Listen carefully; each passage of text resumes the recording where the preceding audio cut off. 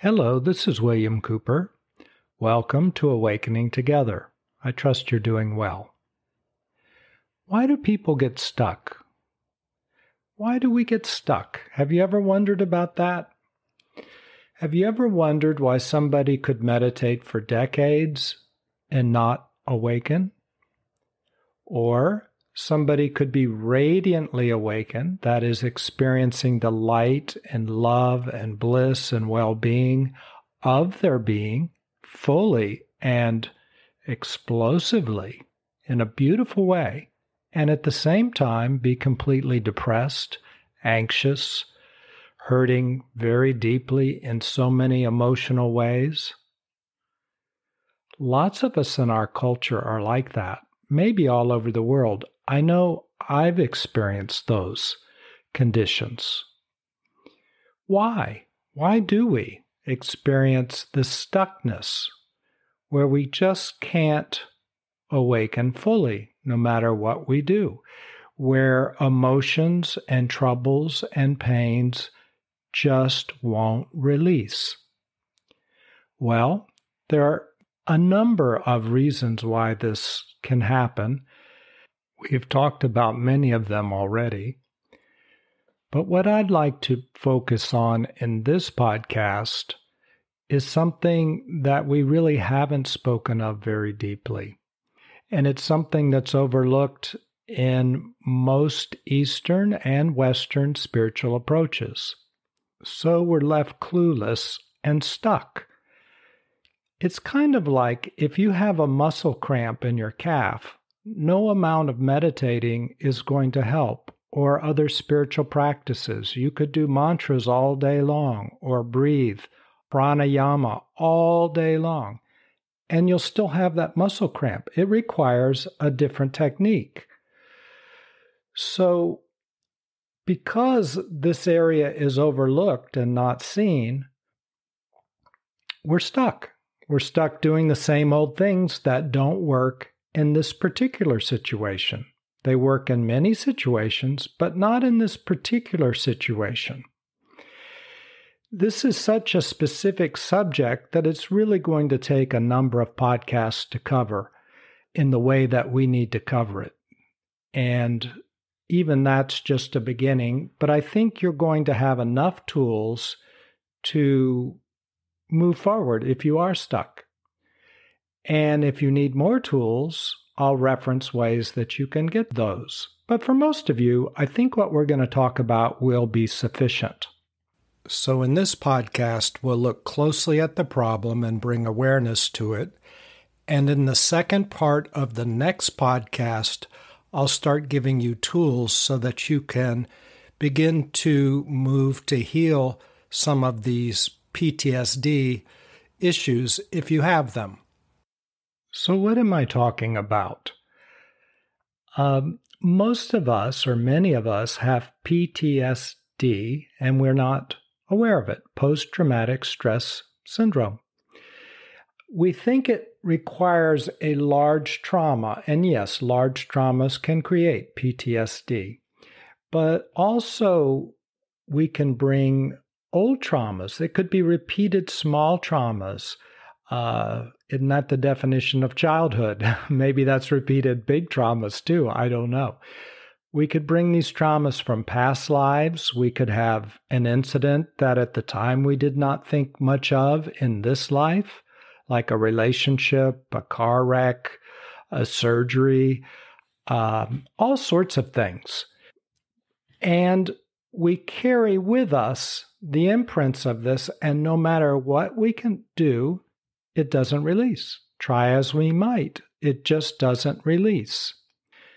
Let me explain a little bit about it, and then we're going to look at normal awakening processes and how they're different from having PTSD. Then we're going to look at specific ways to release our PTSD or if you prefer, we could just call it those stuck places inside of us that just haven't let go and somehow just don't seem like they will let go. We can call that whatever we want, but those kind of things. So I think you're going to find that some of these methods will apply to many of us, possibly you, in a way that will move you forward in your awakening process very, very quickly.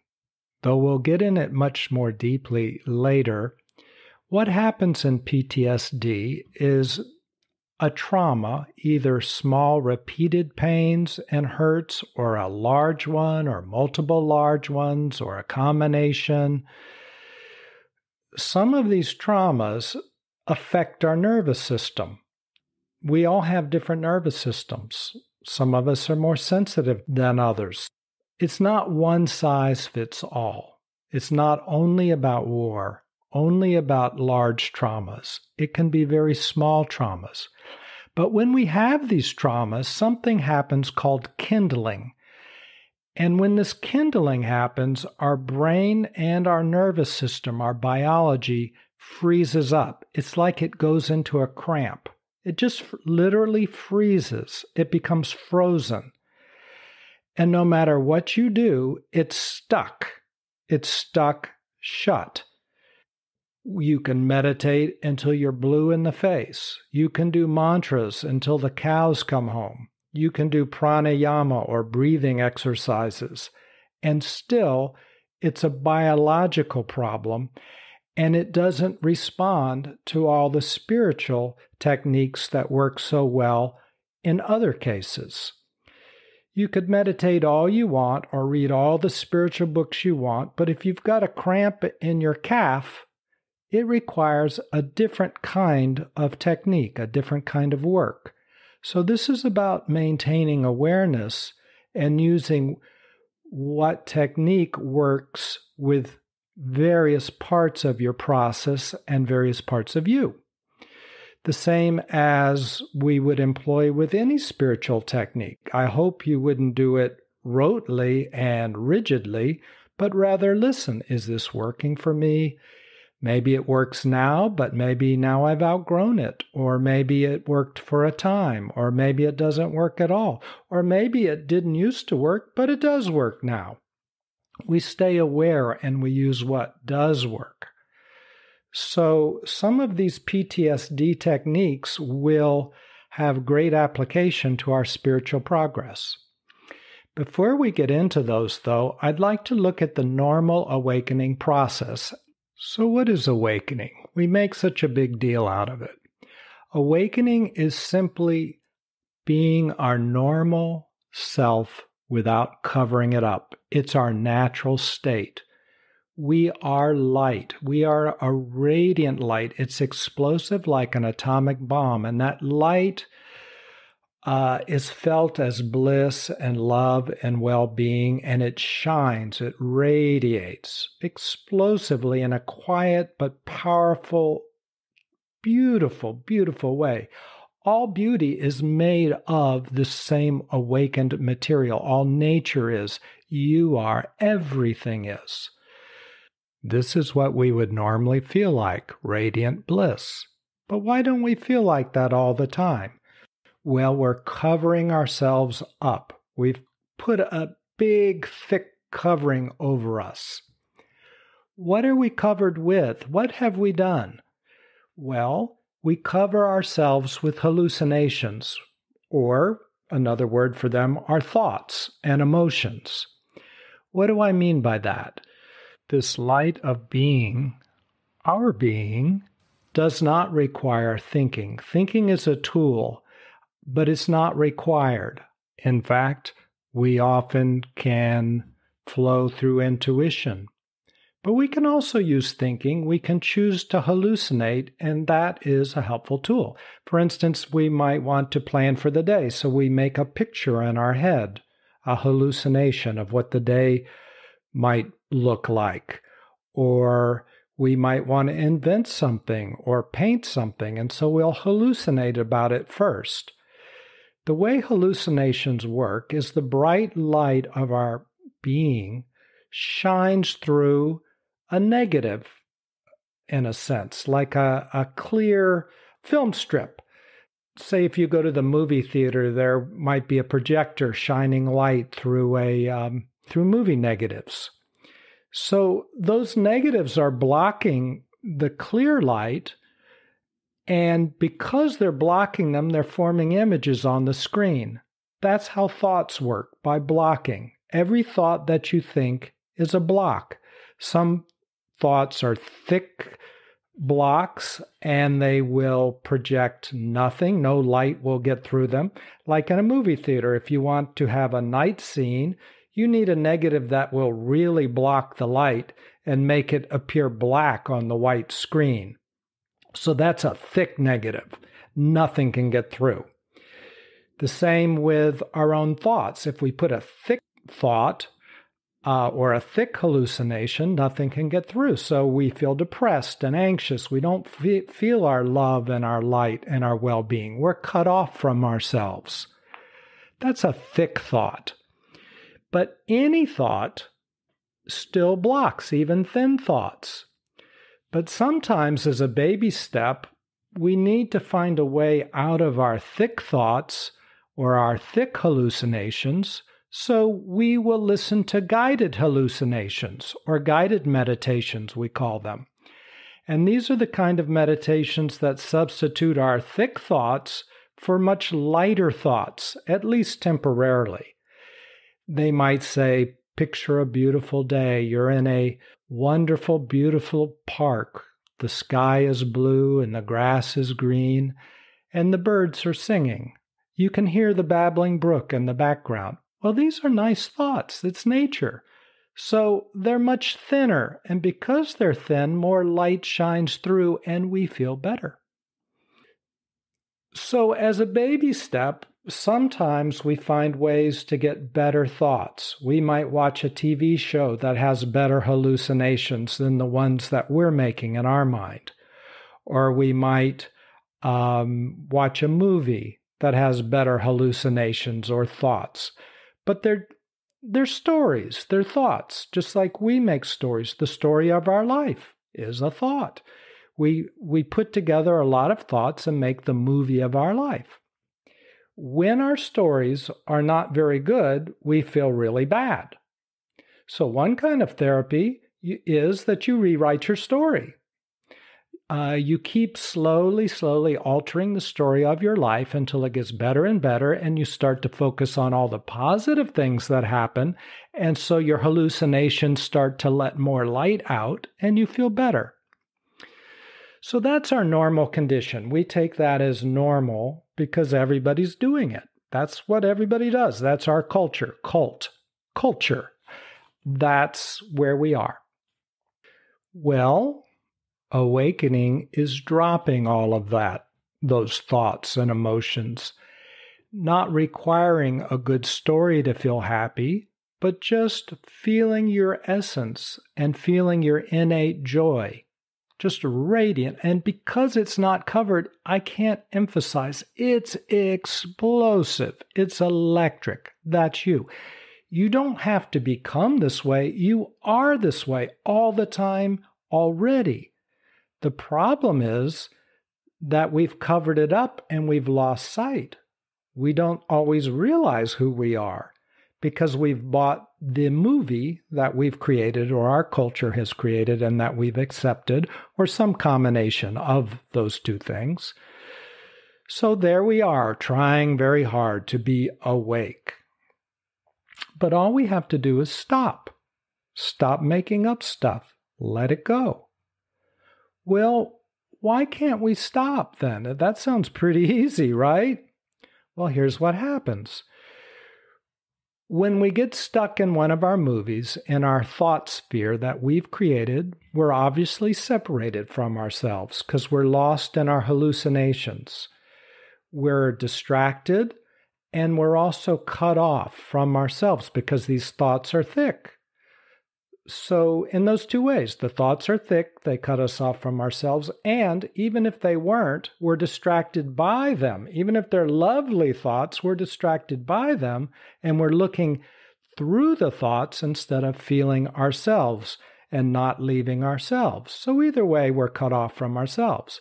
When we're cut off from ourselves, we experience separation, separation anxiety, which is the basis of all of our fears and panic attacks and troubles, we feel abandoned. We've abandoned ourselves. So that's the source of so much hurt.